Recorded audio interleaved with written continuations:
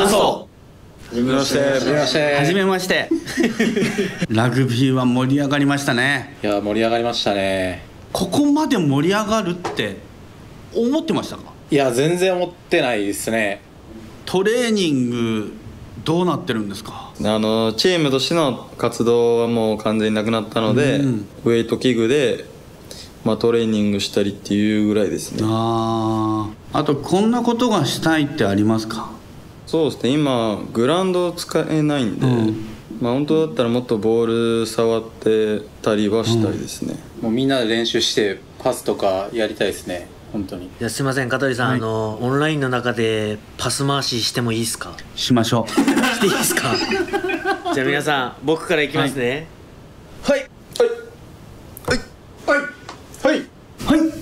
はい。イエーイ。イエーイ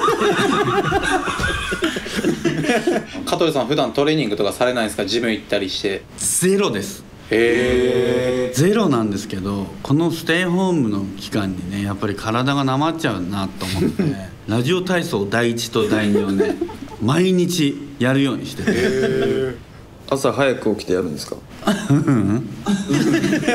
んといつも大体夜になっちゃって やべえ今日が終わっちゃうって思ってやる。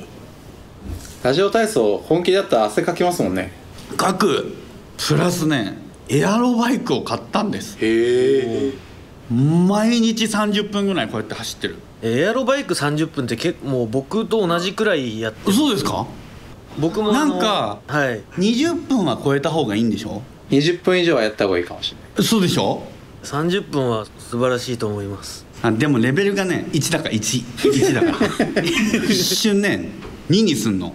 すっごい辛いからもうすぐ1ですねでも皆さんは家の運動で大丈夫なんですか？正直物足りないですけどね。だから本当家のベランダで縄跳びとかうん。そんくらいしかできないので。まあ、あとは、まあ、ラグビー以前に本当みんなと会えてないっていうのもめちゃくちゃ寂しいですね。ね最近あの中村さんからはオンラインのゲームでの招待を何回もされててえうん。ちょっと時間が合わなくて今うまくいってないんですけど。断ってんの？全部無視されてるんですよ。なんで断るの？ちょっとタイミングが今合ってなくて。そんなに会いたいって言ってんのにオンラインのゲームは全部断ってんの？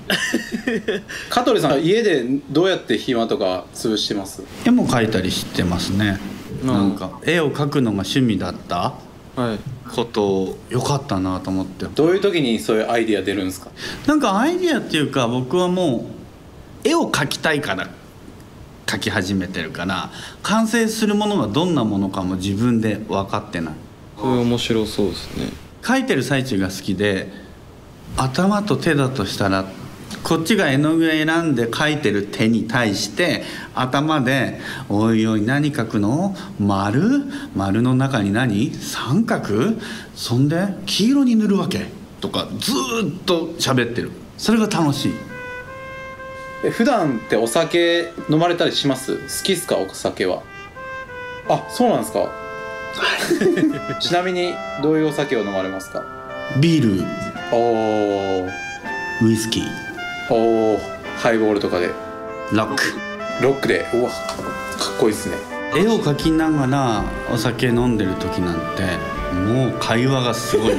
自分とのね。そこに何黒いペンキを持つの？どうするの？垂らしちゃうの？うわー全部垂らして見えなくなっちゃう。おい何やってんだよお前みたいな。はい今日は最高。みたいな。そんなことをやってんの一人で